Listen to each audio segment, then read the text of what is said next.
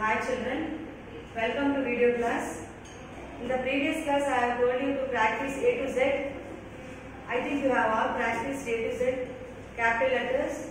So now I am going to teach you a very small letter, small letters, two letter words, two letter words. See once, two letter words. Practice them, pronounce them. Look the video and pronounce them. IT it, T go to, IS is, ON on, OR or, AN and, UP up, MY my, AT at, GO go, OF off, AS as, NGO no,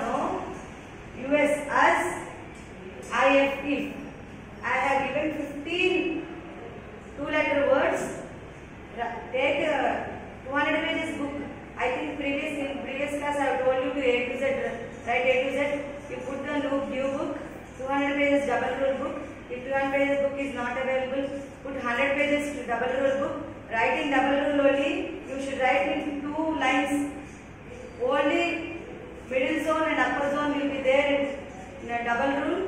Write these let, two letter words. Start from here.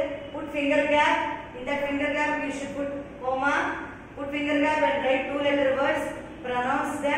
Look at them. Pronounce them and write them. Re- recollect them.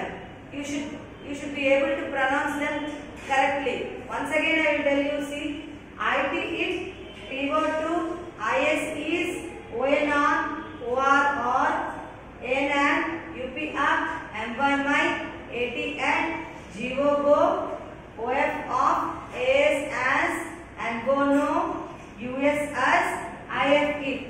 Take the help of your parents, pronounce them correctly and practice them in your house. Write at least each word three times.